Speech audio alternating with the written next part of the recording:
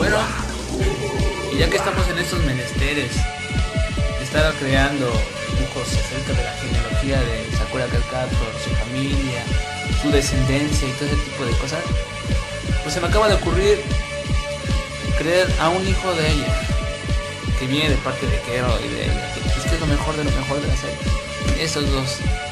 Y por esa razón, pues, en sus travesuras hacen muchos niños a cada rato.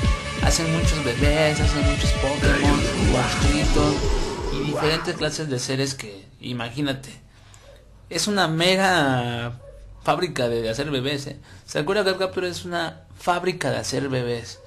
Y qué mejor que el Kero que se aproveche del asunto cuando es más perverso que nadie.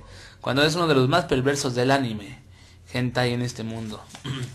y bueno, aprovechándose del momento y de la pasión y del y de todo lo que ellos sienten, pues claro, nacen muchos niños y entre esos niños nació este tipo de ese sujetito pequeño. Muy gracioso. vamos a verlo, vamos a crearlo, ¿va?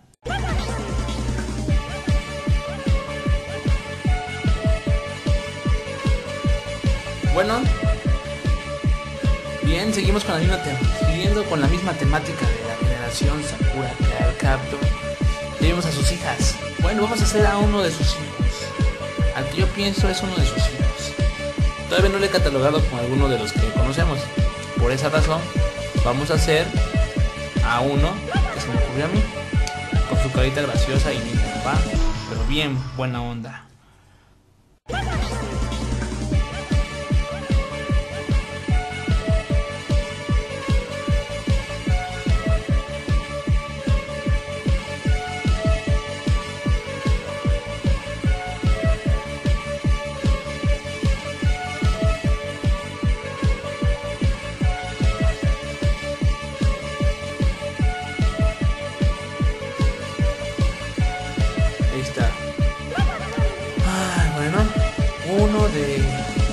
Muchos hijos de Sakura Card abreviado desde luego.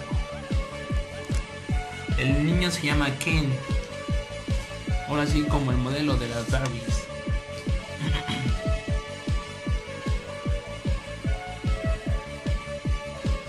Ken. Ay, por puta madre.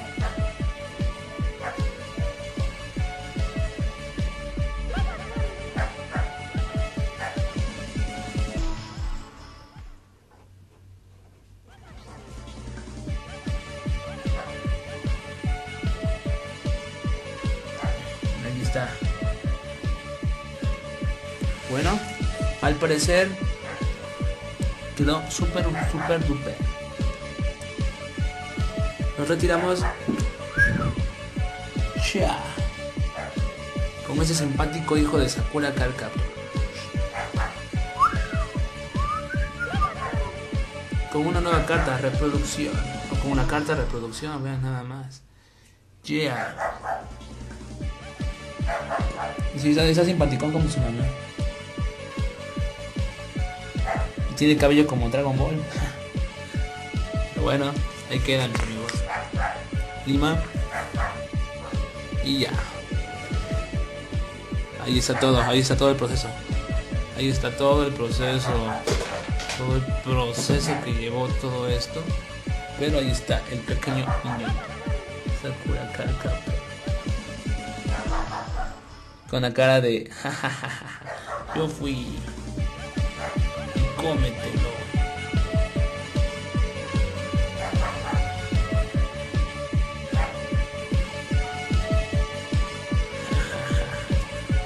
yeah. Un papá muy perverso.